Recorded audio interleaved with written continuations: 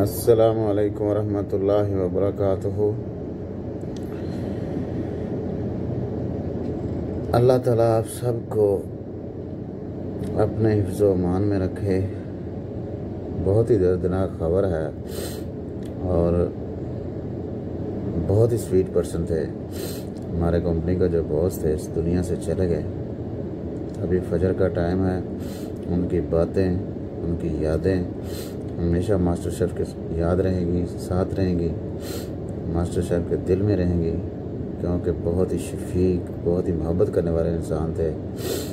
अभी फजर की नमाज़ मैंने पढ़ी है तो दिल से दुआ है अल्लाह रब्बुल इज़्ज़त उनके कब्र के अंदर जाने से पहले पहले अल्लाह पाक उनसे जो भी कोई गलती हुई है, कोई गुनाह हुआ है अल्लाह पाक अपनी रहमत से माफ़ फरमा दें।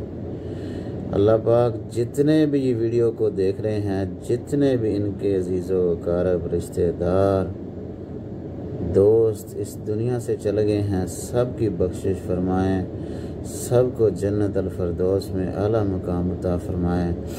अल्लाह पाक हमारे भी जितने गुनाह हैं, अल्लाह पाक अपनी खसूसी रहमत से माफ़ फरमा दें। अल्लाह पाक हम आपके बंदे हैं। आप हमारे खालिक हैं।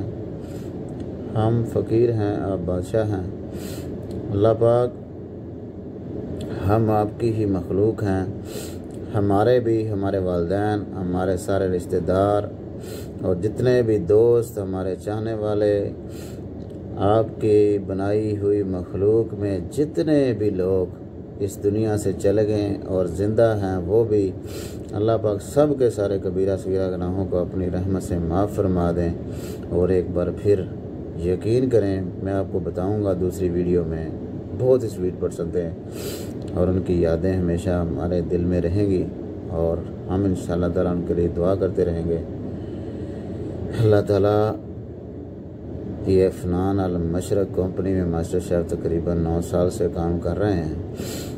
तो एक बार भी उनकी बात की वजह से उनके रवैये से मास्टर शेफ़ डिसार्ट नहीं हुए।